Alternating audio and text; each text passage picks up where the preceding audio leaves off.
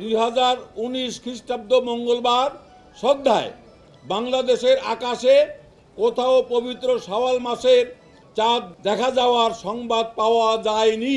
গেল মঙ্গলবার রাত আটটায় এমন ঘোষণা দেন ধর্ম প্রতিমন্ত্রী অবশ্য উত্তরের জেলাগুলোতে চাঁদ দেখা যাওয়ায় তিন ঘণ্টা পরে আসে নতুন সিদ্ধান্ত। পাঁচই জুন দুই হাজার উনিশ খ্রিস্টাব্দে বুধবার সারা দেশে পবিত্র ঈদ উল ফিতর উদযাপিত হবে ইনশাআল্লাহ। এমন অবস্থায় একদিকে যেমন বিভ্রান্তিতে ফেলে দেয় দেশের মানুষকে অন্যদিকে চাঁদ দেখার পদ্ধতি নিয়ে পুরনো বিতর্ককে নতুন করে সামনে নিয়ে আসে। এই পদার্থবিজ্ঞানী ইসলামের নানা বিষয় নিয়ে গবেষণা করছেন বহু বছর ধরে। তার মতে চাঁদ দেখা নিয়ে বিতর্ক হচ্ছে অযথাই। চাঁদ তো একটা পৃথিবী একটা।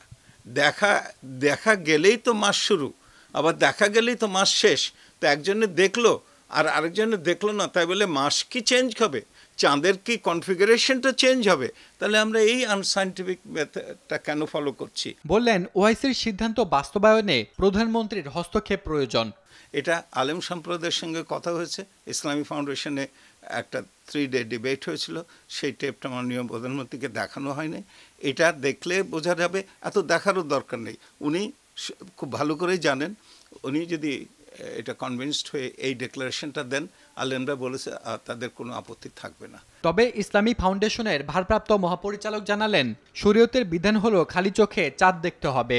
আপনি যে দেশে অবস্থান করছেন ওই দেশে একটি ভৌগোলিক অবস্থান আছে।